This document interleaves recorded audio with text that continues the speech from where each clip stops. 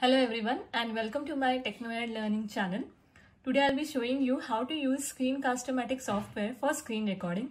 This software is an open source software and it is easily available online and free of cost. For that, first of all on Google, you can type this how to install Screencast-O-Matic. It has to be installed on your computer and go to this below link. Okay, once you go to this link, you will have several instructions which you will have to follow for installing the software.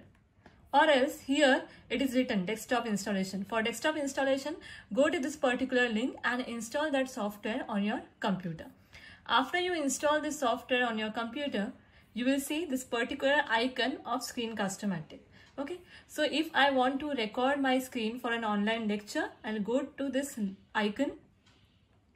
Okay, since I have not paid fees for any plan of this software, so I'll go to launch free recorder.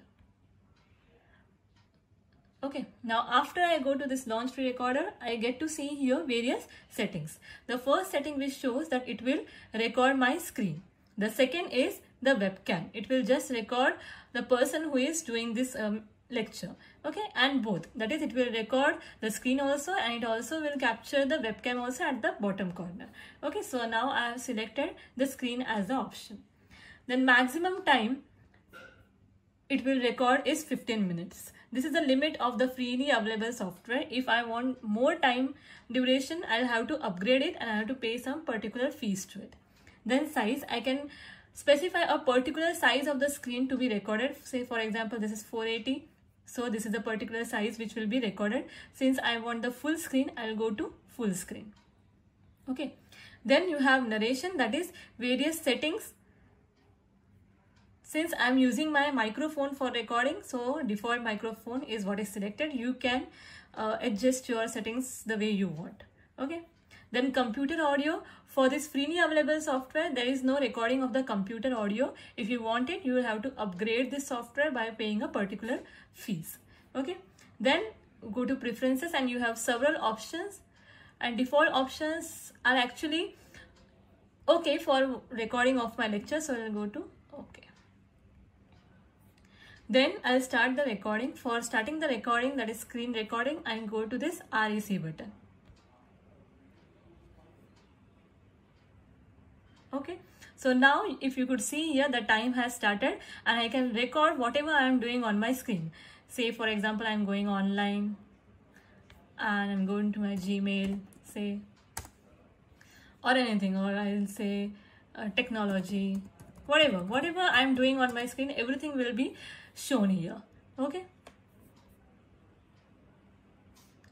now if I want to save this recording. I'll again go to it. Okay?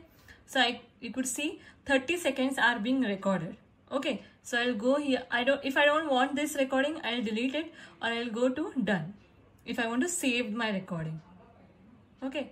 And here you have two options that is save or upload and edit video okay so I'll I am going to save it. Edit video you cannot do it now in the freely available software. You need a video editor for this a video editor for this. So save and upload. Okay. So if you want to see the preview you can see the preview also.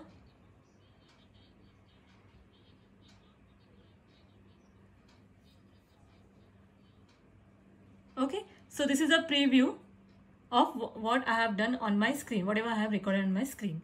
Okay, so I can save this video as a video file. I can upload it to Screencast-O-Matic. That is, you have you have to have your account and log in uh, to your Screencast-O-Matic account, and then you can upload it there, or you can directly upload it to your YouTube. If in the preview you feel that it is not perfect, so you so you can uh, redo also. Okay, so I'll save this video file this is what I prefer because it becomes a, a, storage in my account also in my desktop also on my PC that there are various files that I am recorded with this particular software. Okay and go to publish. So the recording name is uh, that you can change. And since I have given them a, a option of my see done. Since the option of the address was given desktop. So that recording is being saved on my desktop. So I can go through this.